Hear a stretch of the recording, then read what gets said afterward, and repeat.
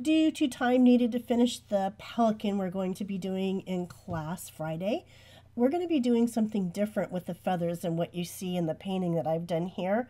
And I would have re-recorded the project six days ago, but I got sick. I'm still sick. And I will do my best to explain what we're doing when we get to the feathers um, when we get there. But uh, I think you're really going to enjoy this. I asked you guys what you wanted your last watercolor painting to do, and two people requested a pelican. So, being one of my absolute favorite birds, um, I took on the challenge. I've never painted a pelican before. So I will tell you that it's really fun. There are hundreds of different looking pelicans. I'll bring some samples to class Friday. Um, and I actually pieced together one that's poster size. It's probably bigger than life size. So you guys can see the details. So what I got caught up in, in painting this guy, is the details. So um, if you pay less attention to the details um, and just really kind of do enough to tell the eye what's going on, you'll have plenty of time to um, paint your guy. What I'm doing here is pretty soon I'm going to show you not only the drawing the drawing that I'm sending you, I'm going to show you the pelican that I drew from, but also the pelican whose colors I like more. Um, you get to choose whatever colors you like. This guy is that I'm painting is a brown pelican. So, um, and the light, the sun is coming from his back, the back of his head. So when the, when you see the painting, yeah, keep spinning it. When you see the painting, um, in the direction it's supposed to be. The light is coming from the right. So um, right now I'm painting the highlights um, of the back of his head. And this part of the pelican is a really cool furry, kind of a furry feather. Teeny, teeny, tiny feathers. Um, so I attempted the highlights of the feathers. I'm going ahead and putting those in first. And then brown is going to go in this section. Now, what I was not able to accomplish was a dark enough brown. And to be honest, I'm not sure why. Um, I you will see that I keep adding layers to the brown. I just can't get that line right there needs to be really dark and crisp to give it the contrast that it needs. So um, I started too light. You can see how light this color is and by now you probably know that watercolors dry a whole lot lighter than, than what you see. Not all of them, um, but this brown sure did. So um, I will continue to darken up the guy's neck um, to bring in some contrast. So hopefully I won't talk too much, but I will just explain why I'm doing what I'm doing.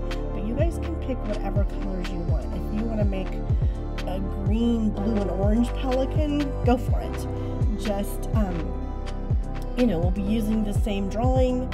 Um, if you have another drawing of a pelican you want to do, by all means, you can do that too. Very last minute though to try and come up with a sketch. Here's the drawing of the guy I got my drawing from um, but I've altered him a little bit. So I'm actually following the feathers of this guy. But what happens is later on, I confuse the two and I start drawing the feathers of the brown pelican with this gray-white pelican and um. So what we're going to do when we get to the feathers on the body is not so much detail as what you'll see me do. Um, you could just fill it in and then add some some smaller feathers, uh, feather strokes, just to show the directions of their feathers because usually their feathers are laying down nice and neat. Um, and I managed to make his wing very complicated and tangly looking, but um, I still like him. So right now I'm just trying to communicate that the neck feathers are more fuzzy and soft than the head feathers. I just think it's so funny how their hair sticks up. Um, and now I'm adding a warm brown for the side that the sun is on, keeping this the side that's to his beak and that bag under his beak. Um, trying to keep that a cool color because it's in the shadow.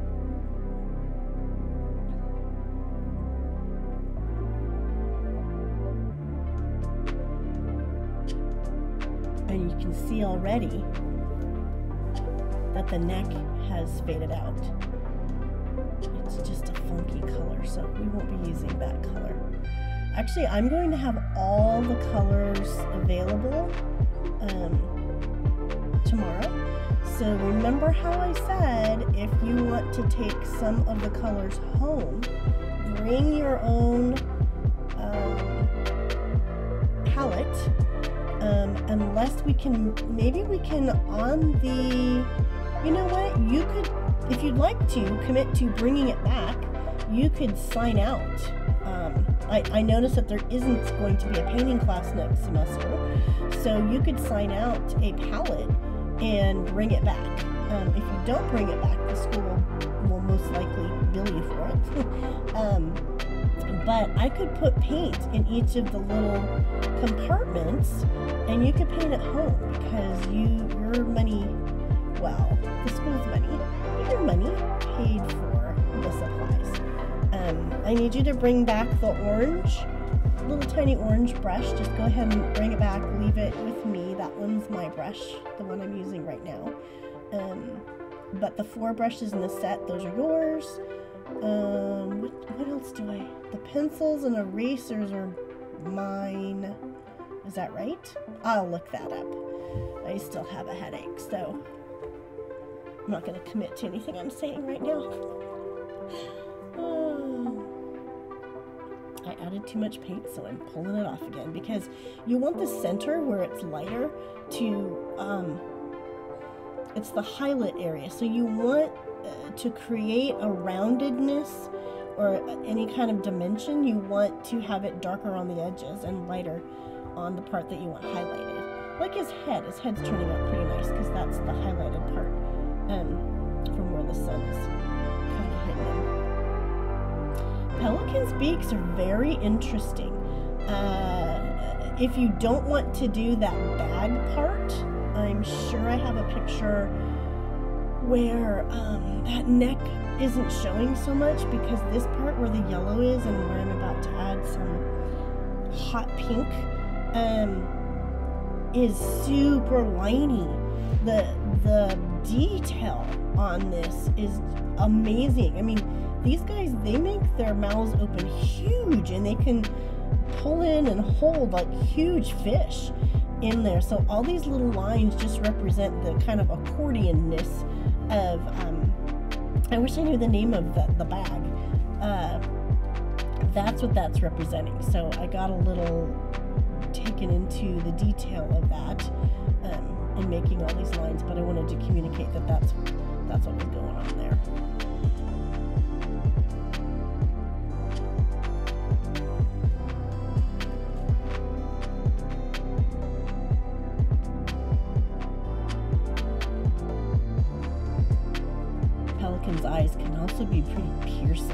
Have you ever had a pelican look straight at you?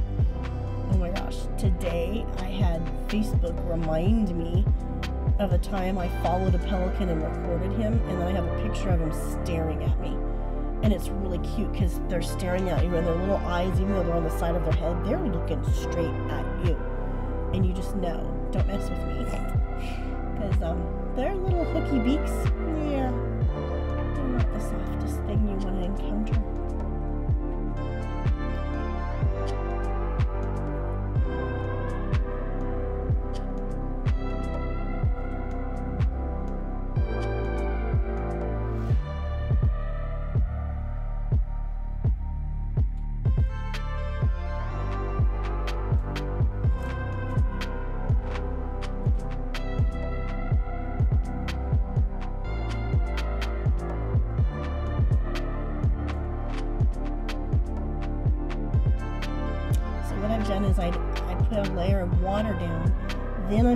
to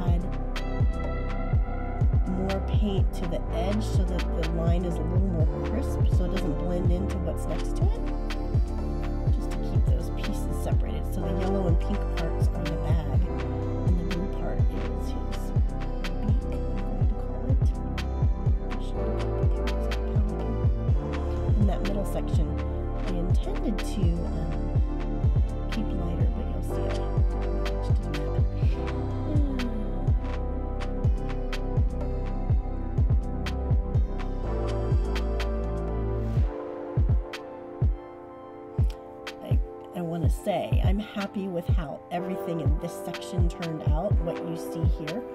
It's his body with the feathers. I've never painted a bird before. So um, I am not, I will admit, I am not knowledgeable on how to paint feathers and I would have repainted. mm-hmm.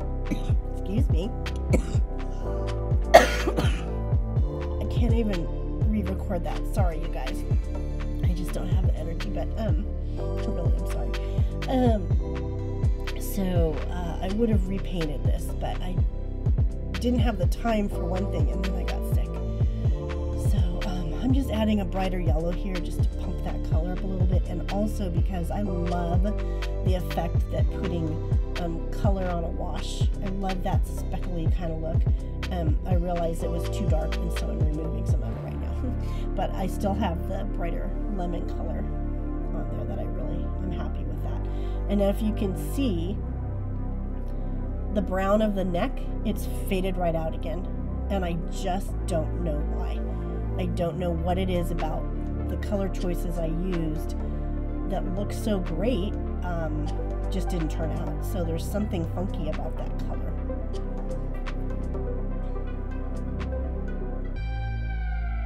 It's actually a brown that I had of my own.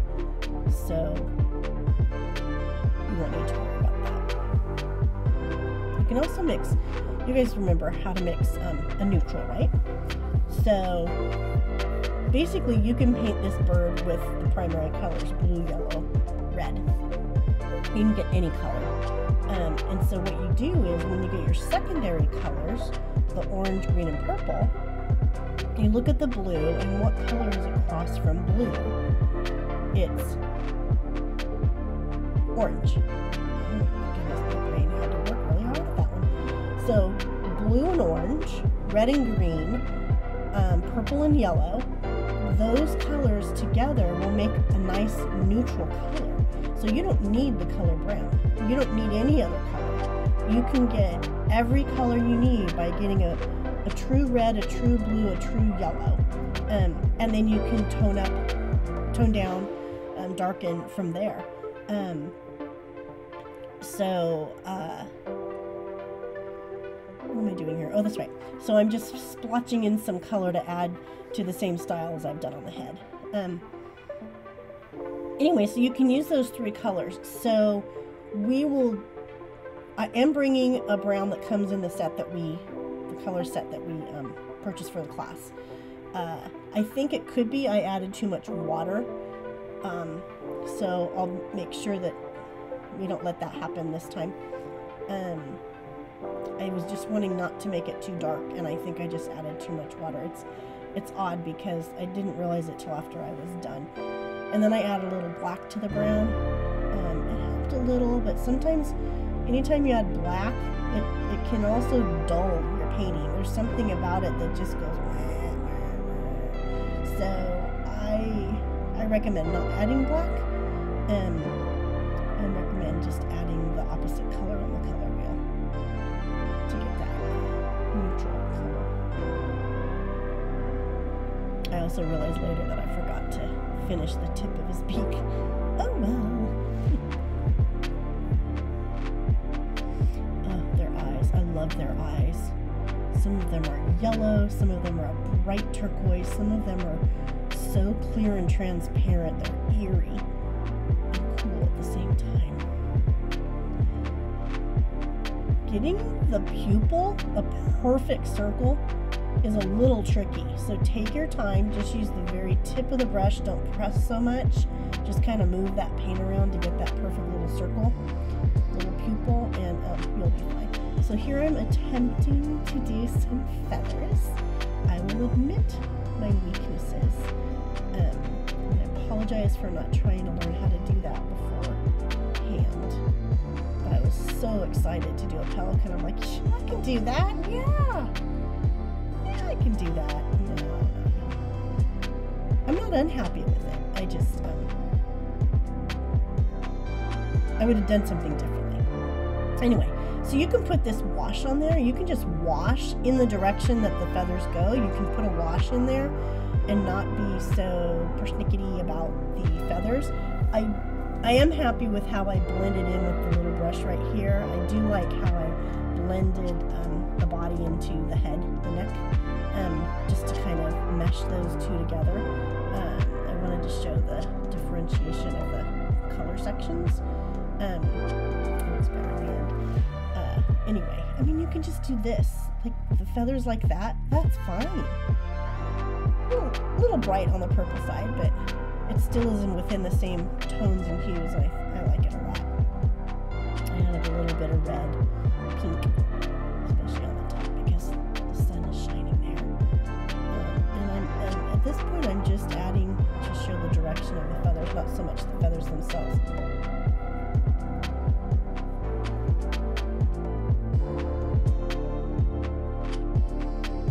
And if we had time, one of the other things is if we had time, you can let let the painting dry and then add another layer of feathers. Let the painting dry, add another layer of feathers.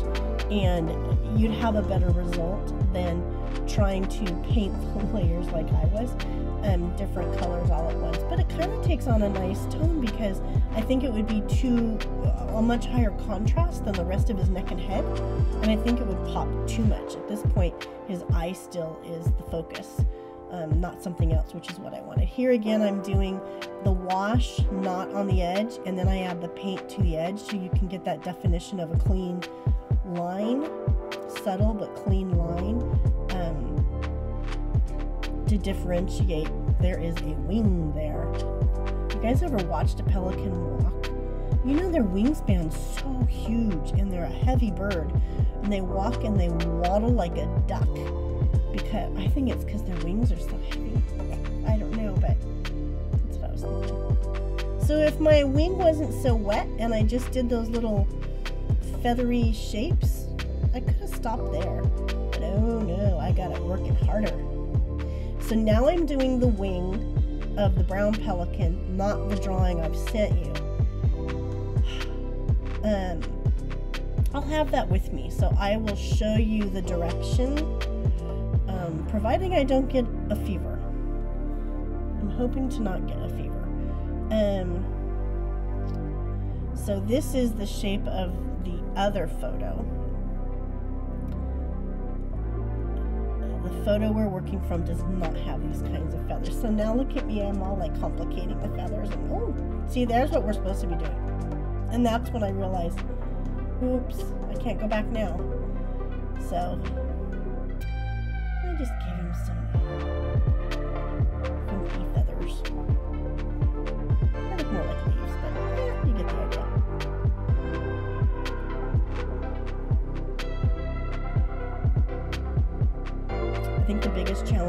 feather I've ever done is painting a peacock feather. That is something it's tough to do without fine detail because they're so spectacular. And now I'm just adding more contrast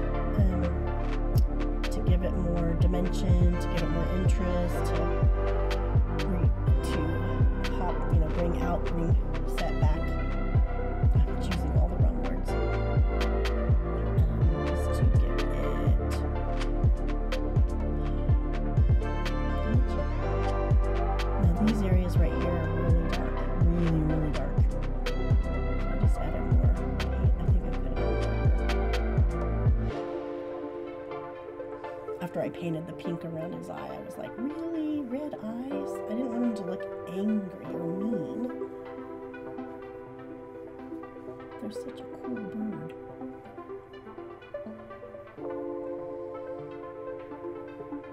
At the end of the video, I add a background.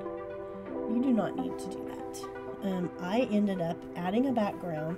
The paint was the color I wanted, and it faded so far out you'll see what it looked like when it was wet and when it was dry. You can barely tell there's even any paint there. So I would have added more but this painting took longer. What I was able to do here took longer than the class time we have. So I had to stop. I have a little alarm that was set and I was doing the feathers when I was when I got to the wing, right before the wing, my alarm went off, and I'm like, I don't have time to fuss with these feathers. So um, keep that in mind. Um, unless you you can paint uh, paint all the basic shapes and areas first, then go back and do the fine detail, and all those areas will be dry enough, and you can decide what you want to bring attention to um, and what you're fine with just keeping kind of subtle. Um, because I think this is the most time consuming one we've done. And I think that um, it'd be really good to finish during class.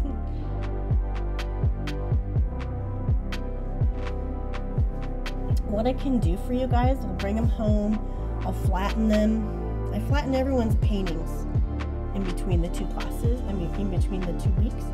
Um, I can bring them home and flatten them and then keep them in my yearbook drawer.